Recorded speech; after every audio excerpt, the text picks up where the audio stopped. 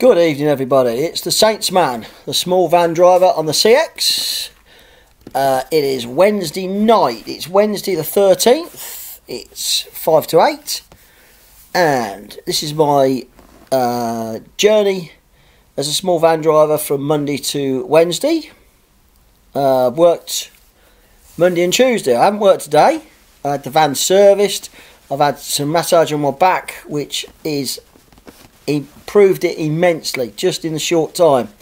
Uh, going back to Monday, I'd already got a load on from last Friday, uh, which I picked up Friday night to go to Norwich Monday and dropped that load off in Norwich, right in the centre of Norwich. It was a department store, um, independent department store, uh, right in the centre of Norwich, cobbled streets, lucky small van, got there no problem.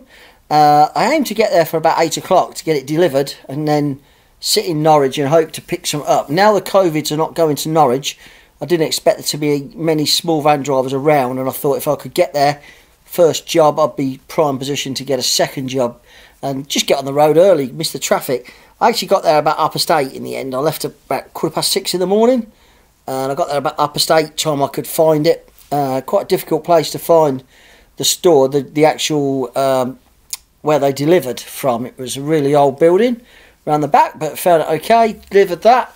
I got eighty-seven pound for that, and that was just over hundred and ten mile all in. So pretty good money. And then I sat and waited. I waited in Morrison. I know Norwich really well, um, so um, not that I live there or anything, but I just seem to know where the places are.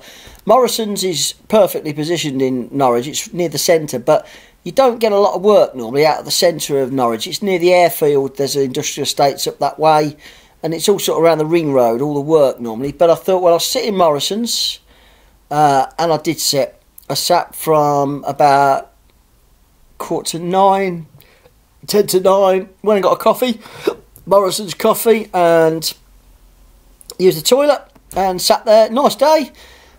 I didn't really mind too much waiting because I already got 87 quid in the bank for that day. So I thought, well, if I'm going to get a good day, I can sit here and wait and wait. And there was no small van drivers in Norwich. There was a short wheelbase, three or four long wheelbase, couple of Lutons, but no short vans in that area. I was tempted to drive down towards Thetford, down the A11 about. I normally stop at a services on the A11 is that right? Yeah, the A11, sort of between Thetford and Norwich. There's a services down there halfway, which covers both. But I thought, no, I'm just going to sit in Norwich, no more dead miles. And then a job popped up, strange one, Norwich to Norwich, no mileage, and it was to put graphics on in a shop in John Lewis's to set a stand up or something that they hadn't. Uh, someone had dropped off for this courier company, but hadn't set the stand up. They dropped it in, I think Sunday, he said, when I got there. But anyway, it said phone. And I was the only one in Norwich, small van. I thought, well, I'll phone and see what, what, what he's doing, what, what's doing. And he told me, I phoned up and he says, it's it, you just got to set a stand up for, um, it was a perfume stand. He said, he said the, the numpty had gone in, he hadn't set it up properly. He hadn't done it, he just dropped it in there and they it should have been set up. He said, I need someone to go in. He said, I think it will take you about 45 minutes um, to do it. And I said, well, yeah, I'll, I'll, give it a go. I said, I've got your number. And he said, I'll send you a photo what it should look like. It should be quite straightforward. He said, he says, what sort of money are you looking at? I said, I don't know. I said, depends how long it takes. I says, you tell me what you want, what you, you know, you, you want to pay and I'll tell you if I can do it. He offered 60 quid. Yeah, not turning that down.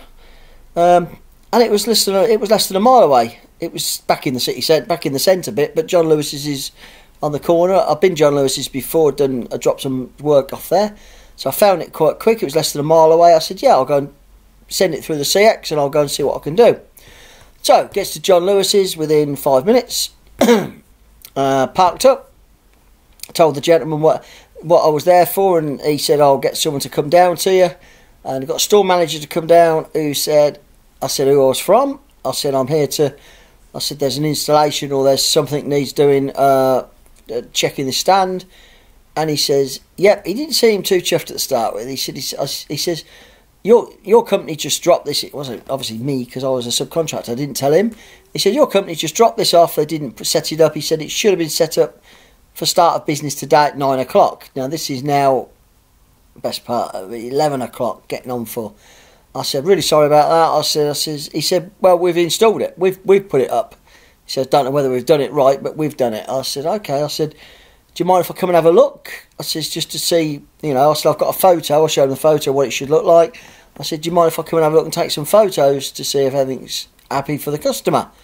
So he did, yeah, he, he led me there. He seemed to mellow a bit then because I was trying to be pass, pass, trying to pacify him just to say I'm really sorry about what's happened. But I said, I think, you know, it looks, and as far as I can see, it looked great. It looked just the same as the picture. I said, yep. I said, is it all right if I take some pictures and send it back to there? He said, yep.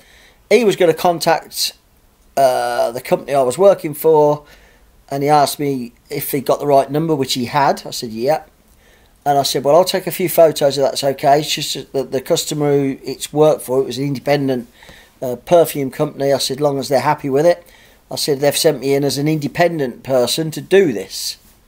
Which I thought I will tell him I'm an independent person that Fox have employed to do to make sure it's okay. And he seemed a lot better than. So I didn't really do a lot. I just took photos. I took about half a dozen. Uh, I did check that it was all. It was, and it was. It was all. It looked as good as what I would have done it. So I came out. he let me out, threw back through the loading bay, got back to the van. I thought first thing I'm going to do is phone the shipper up who's got me this job and say that he's likely to get a phone call from this customer. Uh, they've done it, and I said to the, it was a girl. I said, look, I've been in. They'd installed it. I've checked it. It's all right. I took photos. She said, "Can you send me them photos? Because my customer needs them photos to see if it's okay." So I sent her the photos, and with uh, she says, "Stay on site for me if you could." I went, "Okay." Uh, till I phone you back, and then she phoned back. She said, "Can you take more photos?" I said, uh, "Yeah, can do." There's only two. She said, "Can you take one from outside the store because it was right at the window, near the window." to show that it looks all right. Well, it was reflection. The sun reflected. So I took about four photos, and she said, "Can you take either all round it, either as well?" In the end, I took about twelve photos and sent them all off to her. And then she said to me, "That's fine." I said, "You may get a phone call from the store manager." She said, "No, that's fine. That's good enough." She said, "My customer's happy with them." So it took me an hour, top sixty quid for an hour. Didn't do a thing really. No mileage, so that got my mileage back up. So I was happy with that. And then I was looking for another job then. And a job popped up. There was a job from Brandon, which was a little bit away. It was the Forestry Commission in Brandon, which is Thetford. Uh, the other side of Thetford. Uh, well, you sort of turned off at Thetford. And it was to take a pallet down to Upminster, which I didn't really know where it was until I looked on the CX, and it's right near Dartford Bridge. You get off at the 28 or 29 on the M25, and it's just down there. £62 I quoted, and got it as well. I was doing dead mileage then, but because I'd earned £60 for no mileage, mileage was still okay. So, in fact, it was brilliant mileage. So, that was the only job going. There was nothing in Norwich. Norwich is dead. I advise you, if you get a job to Norwich, be aware that you may be in Norwich for a long while. Because Norwich was on Monday morning, there wasn't a job out of Norwich, small van job, might have been bigger van, but there wasn't a job out of Norwich that morning. There was this job that I'd done putting the stand together, and the next job was Brandon, which was 30, 28 mile away, and it was going down to Upminster. And there was a couple of small van drivers available. I quoted 62 Mileage all in was about 95, but I wanted the job because it took me to Upminster, which was not far from Dartford Bridge, uh, and I got the job. Uh, so I picked this pallet up from the forestry uh, place. Really nice, really nice drive through Thetford Forest. Uh, picked it up straight away and took it down to Upminster. He said straight away, he says, I'm putting the pallet on can you take the pallet with me? But there will be handball the other end. There were plants in bags, like small trees in bags. They fitted in the van, no fine. And I said, yeah, that's fine. But I had to get back that night. I've got to get back, which I did because once I got to Upminster and tipped, there was no jobs going my way. But I got the mileage in comfortably so I didn't have to worry about it. And I drove home from Upminster, 84 miles, but I drove out Upminster back home and I was home and done. Well, uh, four, four fifteen, fueled up, and my mileage for that day I did three hundred and twenty four miles for two hundred and nine pounds. Still got sixty four pence per mile, and that was driving ninety odd miles. I could have waited and waited, but I've got to be home. I've got a blood test for my diabetes because I'm diabetic type two. I got a blood test Tuesday morning at eight fifteen, so I had to come home. I couldn't stay out. If I hadn't had that blood test, I would have done another job anywhere and stayed out. I'd have had a really good day, but I couldn't. I'd got to go home.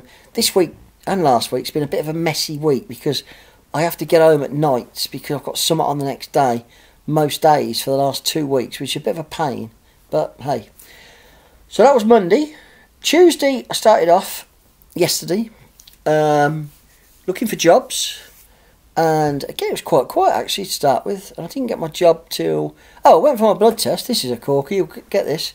Went for the blood test. 8.15 I was due in. You don't get there any earlier than 10 past 8 because they won't let you in because they don't want to crowd in the surgery.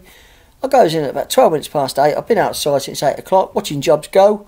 And she, I said, and she said, hello, unfortunately, you're, um, you can't have your blood test today because the nurse went sick. She didn't come in. We only found out at half past seven, but we've sent you a text. And I went, oh, really? So I checked my phone, no text. I said, I haven't got a text. She says, no, we send it as a group text and you might not get it till later today. What good's that? What good's getting a text? And I got the text, I'll tell you when I got it, at one o'clock, saying to me that my blood test was cancelled for this morning, for yes, well, the morning, which had already gone. What's the point of doing that? And I went, right, so I'm rebooked in again for Friday. So again, I'm I can't do a night out. I'm going to work tomorrow. I can't do a night out because I've got an eight o'clock blood test instead. It's crazy, but hey, they you know they hadn't got anyone who could give me a blood test. Hey, a doctor can give me a blood test. There's something. Oh, yeah, no, unfortunately, there's no one here that's good at. Oh, don't get me going. So I came out of the surgery. There was like twenty past eight. I'm rebooked in Friday, so a bit miffed. But I picked a job up from Kettering to Lincoln, and it had been on there quite a while. So I put a bid in, quite a good bid, sixty-three pounds, and it was it wasn't quite Lincoln. It was about six miles short of Lincoln, um, for about altogether, all in, about eighty-five mile, uh, and I got that job, and sure enough, picked it up. It was one box for a residential address I think he sells on eBay or he sells some and it was curry and he got a few packets and he gave me the right one. Took it to a residential address, say six miles south of Lincoln, delivered that. And because I hadn't started that early, I didn't get to Kettering until gone nine o'clock. So it was a late start for me. So I knew I was going to struggle to get my target of 200 this to, yesterday. Uh, second job, I did pick a job up. Lincoln's a bit iffy for me, south of Lincoln. It does get Newark, but a job popped up from Retford, which was 28 mile away, 20, 25 mile away, to Melton Mowbray. So I thought, yeah, that could be good because Melton Mowbray brings in Leicester, and I'm sort of staying close, localish, and I got it. Uh, picked that job up and got it, and it was one box from Retford to Melton Mowbray to a company that delivers to Ireland. It was going to Belfast. I got custom papers with it and all that. That was easy. Done that easy. A nice drive. I like driving around this area. It's off the motorway. You just nice. It's just not all motorway. And on my way to Melton Mowbray, I was about ten mile away. A job popped up Melton Mowbray to Stafford. Now nothing comes out of Melton Mowbray. Not not a lot anyway. I didn't expect a job to come at Melton Mowbray, but it was picking up within a half an hour, and I thought I should be able to do that because the postcode was very similar so I phoned, I bid, sorry, I bid £55 Melton Mowbray to Stafford, and it was only about 60 miles. And I got a phone call straight away saying it's really important, it's documents. He said documents and the thing, it's documents going to solicitors in Stafford. Are you, where are you? I said, I'm, uh, by then I was about five mile from Melton Mowbray. I said, I'm five mile from Melton Mowbray, I've got one box. I said, I can be on your job probably in 20 minutes. And he said, okay but we need it going. It's got to be picked up before one o'clock, um, and it's got to be in Stafford no later than three. I said, okay, and I was confident I could do it. I said, if I can't have any issues, I will phone you, but I'm sure I'm okay. Sure enough, I dropped him out Mowbray, straight away that box, easy, bang, straight in. Jumped on his job. I got there 10 to 1, and it was uh, over 55 houses. They're building new houses, uh, like a community type thing, and it was from the builders. They got a show suite, uh, site office, and it was to pick up documents to go to a solicitor in Stafford for someone who'd exchanged and had signed all their documents to get a new house. So we took it to Stafford, put it straight in the van. I had a break by then. I've been driving, but the jobs are coming through, and I thought this is my third job. Should be done this by about up past two, and I didn't start work till nine. So that was 55 quid. So I drove straight across. It took me up to uh, East Midlands Airport sort of way. Picked the A50 up across there into Stafford. Um, Google Maps. I use Google Maps. I've tried Waze. Didn't get on with it. It sort uh, of let me down a couple of times.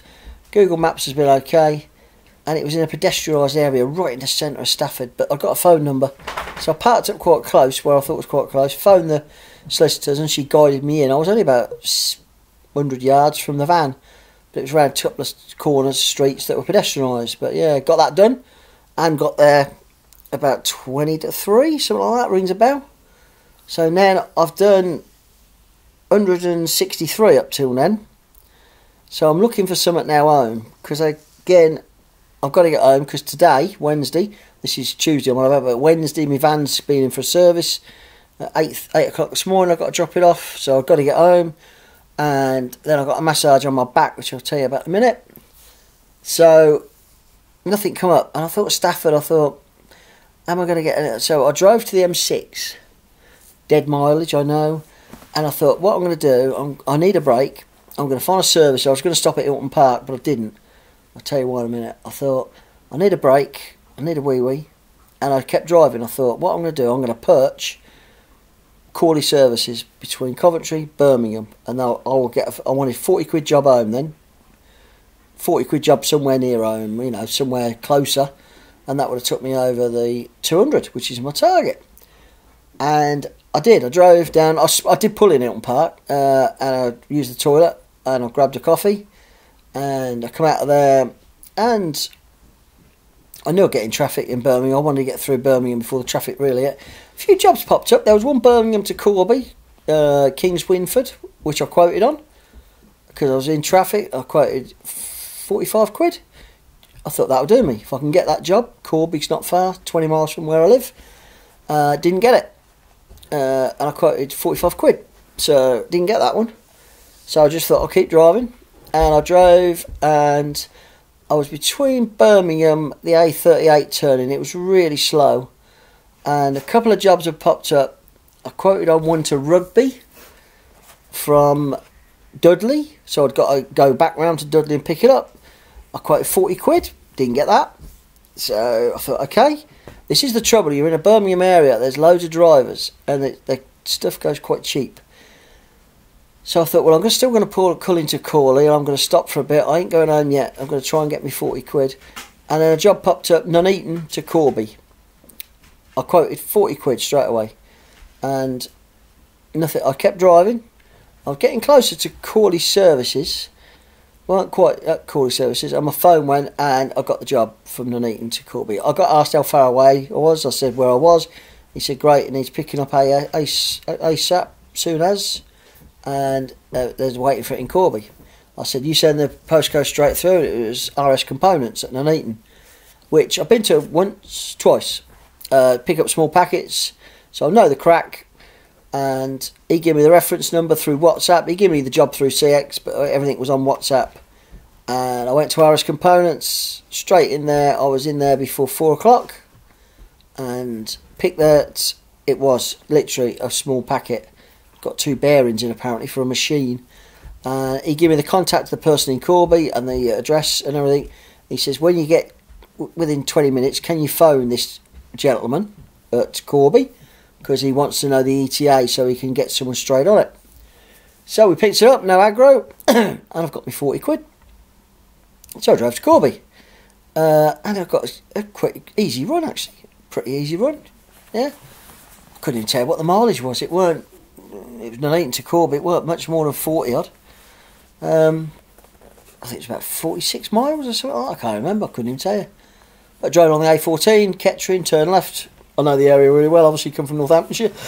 I fish over Corby and their boating lakes now and again. So all good. Dropped that off, and I phoned him ten minutes before I was there, and he went, "Great." He says, "In fact, I'm going to wait for you because I put an ETA. I was asked for an ETA of five fifteen, thinking traffic might be heavy." and I got there at five o'clock. So he was really happy. I was 15 minutes early, and he literally gave it to an engineer who got the old headphones on. He run off with it. So he was happy. I was happy. Job done. And I drive home, and I was home. So I got my, I got my hound here. Look, there she is. This is my baby girl. She's interested in being on. Um, yeah, wife's still at work. It's bike night tonight. I've I've come home and done this. I left the bike night. She's still working. And the hound, my little girl here, little girl, Weimaraner. Millie, she's waiting for a burger, which mum brings home for her later. Yes, I know. So, back to where I was. Yeah, so I drove home. Uh, got fuel. Fuel is eased. It's a lot easier now. I no aggro getting fuel. BP garage, unlimited. So I filled up, end of my road, drove home. I was home before six, just about six, about five to six. So I did 349 that day. That's yesterday. 349 uh, miles. Uh, and I got 203 pounds. So I'm just getting over my target. Two days. Today I haven't worked because my van had a service this morning and much needed 3,000 miles over the limit of what it should have. Uh, my great mate Daz, who does my vehicles, three vehicles, he said, yeah, it's sweet. Did a full service, oil change, oil pollen filters, the whole lot. Um, good, all done. And while he had that, my wife come with me, so I dropped it in his garage. It's about, I don't know, 10 mile away. Dropped it in his garage, and not 10 miles, probably 8, 7, 8 mile. And I booked a massage with a biker, one of the biker's wives who does massages, and she does all treatments, physio. And I booked a session with her from 9.30 to 10.30 this morning. So Julie, my wife, Julie, dropped me off at the massage to have a massage, and it's the first time I've had a massage uh, for a long while. I used to play rugby and have a few, but it was brilliant. Uh, my back has been still aching. I'm walking the dog, but it's aching a bit. This morning I had hot stones put on it. I had a hot massage with hot stones and oils and stuff, and it is improved dramatically. It's loosened up Nikki, who did it, Nikki's girl, Nikki, she said, You're really tight. The top of your back's tight. She managed to manipulate knots. Quite, quite, not painful. It was a bit uncomfortable now and again, but it was doing me good. And she massaged the bottom of my back, put hot stones on, and it's eased the muscles. It really has. I'm booked in again. I'm going to have another session in four weeks, four or five weeks. She's that busy, that's the earliest I get in. So that was all done. So I'm really happy. Uh, ready to rock and roll tomorrow. I haven't got nothing booked in yet tomorrow. There was a couple of jobs on there, but I didn't fancy them. Uh, one from Towcester to London didn't really pay a lot of money. It got a set figure, which I didn't. It weren't going to do no good for me. And there was another job there, but it weren't until eleven o'clock. So if it's there in the morning, I haven't got anything. I may put a bid on it, but again, it's only a fifty quid job. I'm looking for something a bit further tomorrow. I can actually stay out tomorrow night. Oh no, I can't a lie because I've got a bloody blood test on Friday morning. So again, I'm going to be doing small jobs all around. I can't really go too far because I have to get home. It's been a bit of a pain this week. It really has. Blood tests and van servicing. It's broke my week up. I like to do, I, you know, do a long distance job down the southwest or up to Scotland, earn the big money in the week, and then Friday I ain't going to faff around. I've booked a job in actually, believe it or not, for Sunday I never work Sundays, but this one I just put a cheeky bid in. It's to go to Kettering, which was 15, mi- uh, 15 miles from where I am, pick a COVID test up, three COVID tests from one house, and bring it back to Northampton. Uh, and literally, where it goes to the labs in Northampton is four miles from where I am. So I worked out it was going to be about 36 miles all in, 35 miles. I just put a cheeky quote in. It's pick up 10:30 in the morning, so we'll leave here at 10 and I'll be done by 11, 11 for 15. It, it's an hour and a, it might be an hour and a half. I don't think it will be about an hour and a quarter. And I put a cheeky bit of 35 quid in for Sunday and I got a phone call straight away saying you're okay to do that and it literally is pick up three COVID tests from one house in um, 15 miles away, 18 miles back and 3 miles home. 36 miles, 35 quid. What else? It's a Sunday morning. I'm just going to be farting around anyway. Gives me time to walk the dog, do that job, be home still for lunch. So I booked something in for Sunday. Blood test Friday. I'll do another video. I'll probably do it Sunday after I've done the job for the rest of this week. But I hope you're all making money. I've got about 85 subscribers. Answered a couple of questions. Um, someone asked me about uh, what van size to use around London. In my opinion, and it's only my opinion, I can't think what it's called now, Turtle Dove or something. The, the it was from. In my opinion, a small van is the is the way around London. He lives in southeast London. This he's looking to get a small van. He's on about short wheelbase, what they are, which are Transit Customs, they're Renault Trafics or whatever they are, Vauxhall Vivaros, they're short wheelbase. But around London, I think a small van is ideal. There's a lot of jobs. He's in the southeast of London, and he definitely needs Euro six because you're going to be in London doing lots of work. And this Euro 6 now, it's going to be bigger. Um, yeah, I say it's all unedited. I just put it out. I do it one take, and whatever rubbish and crap comes out of my mouth in 26 minutes I've been talking. That's what you get. Um, I thank you for subscribing up to 85 subscribers, which is great. If you want to like or subscribe, please do so and please share. Uh, if you've got any comments, I will answer them. It's only my opinion, though. I'm a bit like Pete the Courier. I'll give an opinion. It may not be right, but I, it's just what I what I do. It's as simple as that. So, thanks for your help. Hope you're making money. I'll speak to you Sunday.